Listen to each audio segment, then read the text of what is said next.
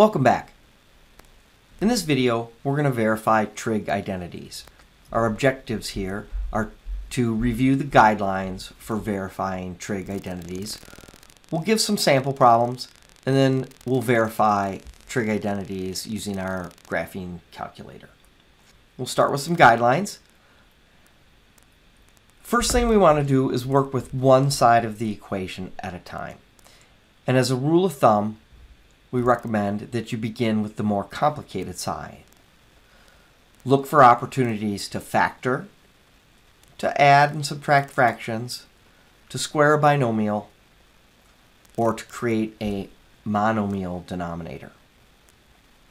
Third, you want to look for opportunities to use the fundamental identities.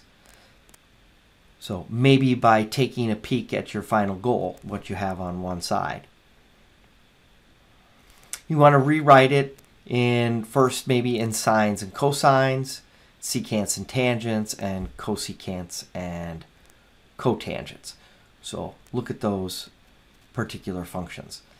If all else fails, try converting to sines and cosines. In the end, sometimes you'll hit roadblocks, but try something. Attempts that lead to dead ends always provide a little bit of insight. So let's take a look at some samples.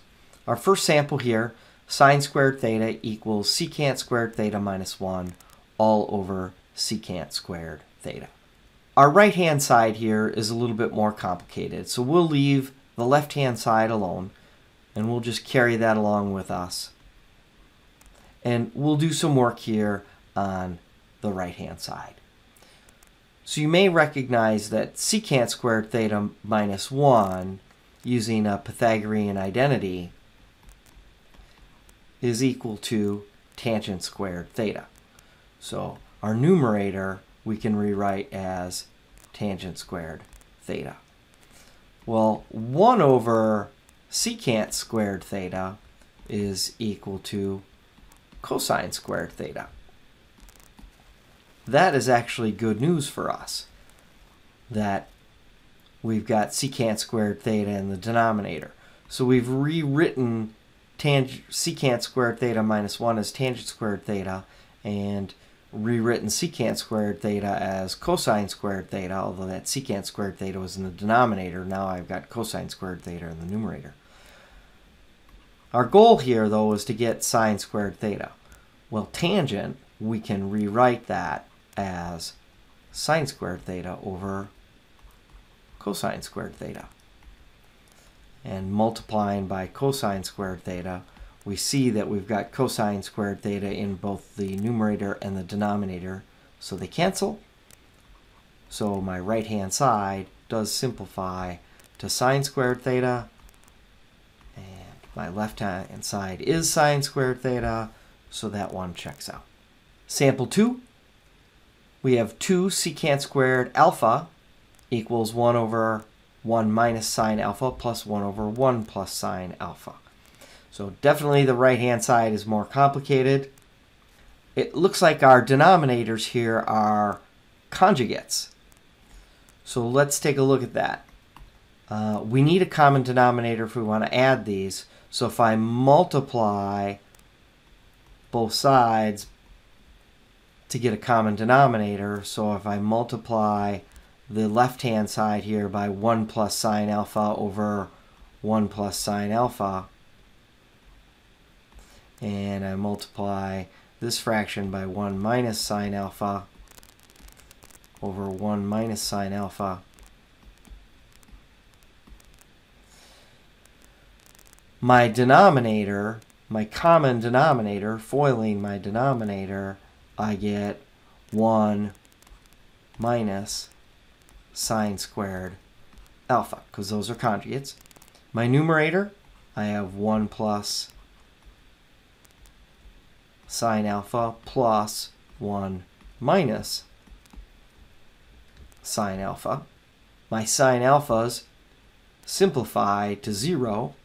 They drop out. And I'm left with 1 plus 1 in my numerator, which is 2.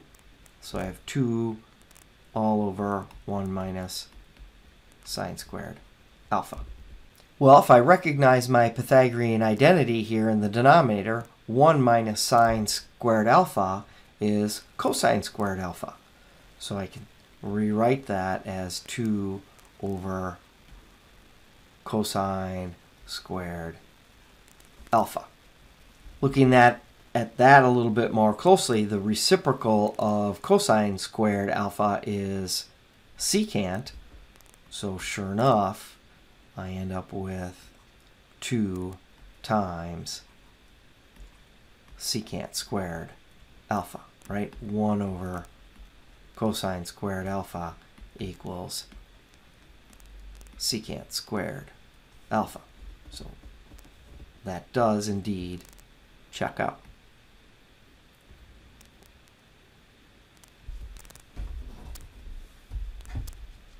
In sample 3, this is a sample in which we will convert to sines and cosines.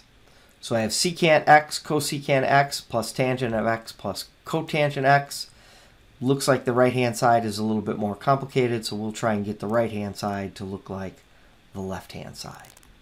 So tangent, we'll rewrite that as sine x over cosine x, and cotangent, we'll rewrite that as cosine x over sine x. We want to get a common denominator if we want to add these fractions. So I will go ahead and multiply the left-hand side here by sine x over sine x. And I will multiply the right-hand side by cosine x over cosine x. Getting my common denominator, I have sine squared x plus cosine squared x all over our common denominator cosine x times sine x. I really like the look of that numerator. It's, our Pythagorean identity, so that simplifies to 1. So I'm left with 1 over sine x cosine x. And I can really, I can rewrite these. We'll rewrite it up here. We've got a little more space. So now I have 1 over sine x times 1 over cosine x. Well, 1 over sine x is cosecant x, and 1 over cosine x is secant x. So I have cosecant x times secant x, and that does indeed equal secant of x times cosecant x. So we have verified that identity. In sample 4, this is going to be an example in which we use conjugates. So I have secant x plus tangent of x equals cosine x over 1 minus sine x. We actually have done this kind of thing before. We're going to multiply our numerator and denominator by the conjugate of our denominator. So 1 plus sine of x, leaving with us with a numerator of cosine x times 1 plus sine x all over 1 minus sine squared x. 1 minus sine squared x, though, is cosine squared x. So I have cosine x times 1 plus sine of x. I have not distributed that cosine x. And that's all over cosine squared x. Well, cosine x over cosine squared x, one of my cosines is going to cancel here. Right? It's no different than having, you know, y over y squared. Right? The one of the y's cancels, so I'm left with 1 over y. Well, here I'm left with 1 over cosine. So I have 1 plus sine of x all over cosine x. Now my goal here is to get secant x plus tangent of x. Well, I've got sine over cosine here, which is tangent, um, but I need to split these between our two numerators, our two terms in the numerator. So if I rewrite that as 1 over cosine of x plus sine x over cosine x, it's apparent that the reciprocal here of cosine x is our secant of x. and sine x over cosine x is tangent of x. So that does indeed equal our left-hand side, and I have verified that trig identity. Objective three, we want to confirm these using the calculator. So I'm not going to rewrite this at all. I just want to confirm cosine of theta divided by 1 minus sine of theta equals secant of theta plus tangent of theta. Now I might need to make this a little bit more friendly for my calculator. Um, so secant of theta, I might want to rewrite that as 1 over cosine of theta. But tangent of theta, that's calculator friendly. So this will be one function in my calculator. And the other function in my calculator will be cosine of theta divided by 1 minus sine of theta. And I'll use x in my in my calculator. So it might look something like this when I put it in. So let's take a look and see what that looks like. So I couldn't use theta, I used x. So I've got cosine of x divided by 1 minus sine of x. There's my left-hand side.